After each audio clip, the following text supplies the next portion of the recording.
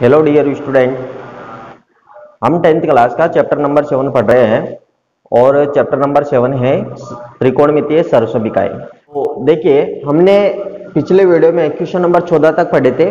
अब आज question number पंद्रह पढ़ते हैं अपन। क्वेश्चन नंबर पंद्रह ये, ये दे रखा है अपने को कि यदि साइन तीन थीटा बराबर कोस थीटा माइनस छ डिग्री यहाँ तीन थीटा और थीटा माइनस छ डिग्री न्यून कोण है। ठीक है ना? न्यून कोण क्या होता है भाई? वह कोण जिसका मान 90 डिग्री से छोटा होता है, वह न्यून कोण होता है। ठीक है ना?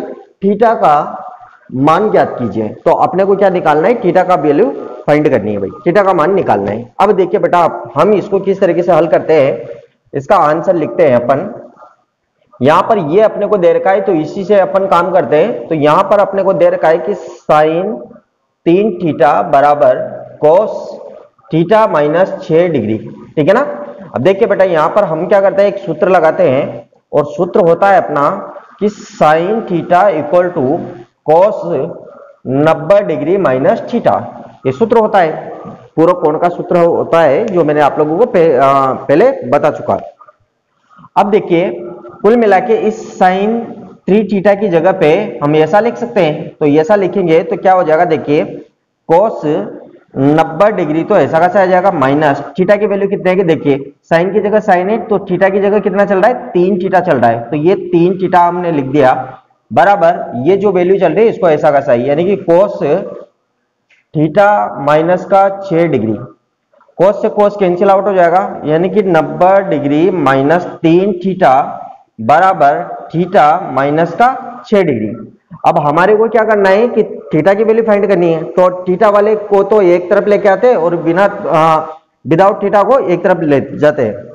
तो यहाँ पर अपन क्या करते हैं कि 90 डिग्री, ये 6 डिग्री इधर आएगा तो प्लस का 6 डिग्री बराबर ये थीटा ऐसा का सा है और तीन थीटा इधर आएगा तो प्लस का तीन थीटा हो जाएगा। तो देखो 90 और छह छिन्नमा डिग्री बराबर ये हो जाएगा आपके पास में चार थीटा। और हमारे को थीटा की वैल्यू फाइंड करनी है तो थीटा इक्वल टू छिन्नमा बटे चार। और इसका इसमें भाग देंगे तो ये आपके पास में दो और ये चार, यानी कि 24 डिग्री आ जाएगा। थीटा की वैल्यू कितनी आ जाएगी? 24 डिग्री। अब हमारे को ये भी बताना है कि तीन थीटा और थीटा माइनस छ डिग्री, ये न्यून कोण है। तो तीन थीटा इक्वल टू यानी कि तीन इंटू थीटा का मान कितना है हमारे पास में? 24 डिग्री। तो यहाँ पर लिखेंगे हम 24 डिग्री। तो 24 को तीन से गुणा करेंगे तो ये हो जाएगा बहत्तर डिग्री।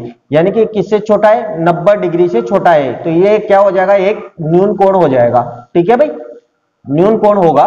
उसके बाद में थीटा माइनस छ डिग्री, यानी कि थीटा माइनस छ डिग्री बराबर थीटा की वैल्यू कितनी है वापिस? 24 तो ये हमने लिखा 24 माइनस का छह डिग्री।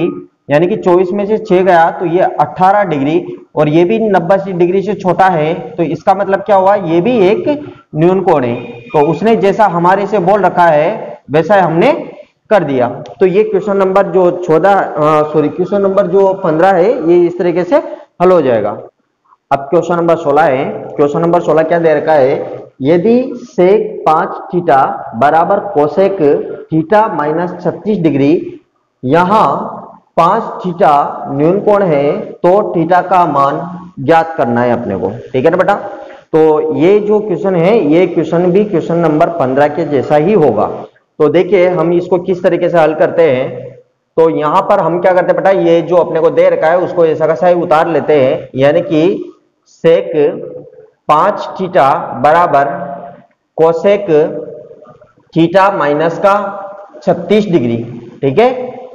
अब हम क्या करते हैं कि यहाँ पर सूत्र लगाते हैं कि सेक थीटा बराबर होता है कोसेक 90 डिग्री माइनस थीटा। ठीक है ना? ये सूत्र होता है पूर्व कोण का। तो यहाँ पर इस कोसेक पाँच थीटा को हम ऐसा लिखेंगे। तो यहाँ पर सॉरी सेक पाँच थीटा को हम कोसेक की फॉर्म में ऐसा लिखेंगे। तो यहाँ पर हम लिखेंगे तो क्या हो जाएगा? कोसेक 90 डिग्री माइनस थीटा की वैल्यू कितनी चल रही बेटा? पाँच थीटा। तो ये हमने लिख दिया पाँच थीटा।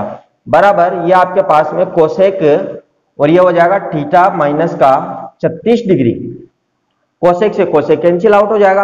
अब अपने पास में 90 डिग्री माइनस पाँच थीटा बराबर थीटा माइनस का 36 डिग्री। अब हमारे को थीटा की वैल्यू निकालनी है, इसलिए थीटा वाले पद को तो एक तरफ़ लेते और विदाउट थीटा वाले पद को दूसरी तरफ़ ले जाते तो यहाँ पर 90 डिग्री, ये 36 इधर आएगा तो प्लस का ये 36 डिग्री हो जाएगा। बराबर, ये आपके पास में थीटा, ये पाँच थीटा इधर आ जाएगा तो प्लस का पाँच थीटा हो जाएगा। अब 90 और 36 आपके पास में हो जाएगा बेटा 126 डिग्री। बराबर, ये आपके पास में हो जाएगा 6 थीटा। अब हमारे को थीटा की वैल्यू निकालनी है तो हम लिखेंगे कि थीटा इक्वल टू 126 डिग्री बटा 6 यानी कि इससे ये कट जाएगा दो और एक। यानी कि कितना आएगा बेटा 21 डिग्री। थीटा का मान कितना है भाई? 21 डिग्री। थीटा की वैल्यू 21 डिग्री आई है और पाँच थीटा, यानी कि इसको हम इससे गुणा करके लिखेंगे तो 105 डिग्री आएगा। तो 105 डिग्री तो न्यून कोण है नहीं। तो ये यहाँ पर न्यून कोण नहीं होगा। यहाँ पर होगा बेटा अधिक कोण है। ठीक है ना? ऐसे लिख लेना अधिक कोण। ठीक है? तो यहाँ पर ये जो कोण है, अधिक कोण क्या होता है? जो कोण 90 डिग्री से बड़ा होता है और 180 डिग्री से छोटा होता है, उसको हम अधिक कोण बोलते हैं। तो ये जो कोण है, ये 90 डिग्री से, ये जो 105 मिला है 105 डिग्री, ये 90 से तो बड़ा है, लेकिन 180 डिग्री से छोटा है। तो हम इसको क्या बोलेंगे? ये हो जाएगा अधिक कोण है। ठीक है ना भाई? अधिक कोण। तो यहाँ पर ये एक मिसप्रिंटिंग है। यहाँ पर न्यून कोण नहीं होगा। यहाँ पर पाँच थीटा न्यून कोण नहीं होगा। पाँच थीटा अधिक कोण होगा। ठीक है ना? ये चीज़ ध्यान रखना आप। क्वेश्चन नंबर सत्रह है। क्वेश्चन नंबर सत्रह हमारे को दे रखा है कि यदि ए बी सी किसी त्रिभुज ए बी सी के अंत कोण हो तो सिद्ध कीजिए कि टेन बी प्लस सी बटा दो बराबर कोट ए बटा दो। यानी कि आपको एक त्रिभुज दे रखा है और उस त्रिभुज के तीन अंत कोण है और उन तीन अंत कोणों का जो यो आ, नाम दे रखा है वो ए बी सी दे रखा है। देखिए हमने एक त्रिभुज बनाया और इस त्रिभुज में ये वाला कोण इसको हम ये मान लेते हैं ये बी है और ये सी है। ठीक है ना? ये तीन कोण दे रखे हैं। यानी कि ए बी सी ये इस त्रिभुज ए बी सी के क्या है? अंत कोण है। अब आप लोग जानते हो कि त्रिभुज के अंत कोणों का योग कितना होता है? 180 डिग्री होता है। तो देखिए, हम यहाँ पर क्या करते हैं कि हम जानते हैं, हम जानते हैं कि त्रिभुज के अंत कोणों का अंत कोणों का योग 180 डिग्री होता है। ठीक है भाई? तो इन तीनों कोणों को जोड़ेंगे तो हमारे को क्या मिलेगा? 180 डिग्री मिलेगा। यानी कि हम लिख सकते हैं कि a plus B plus C बराबर 180 डिग्री हो गया।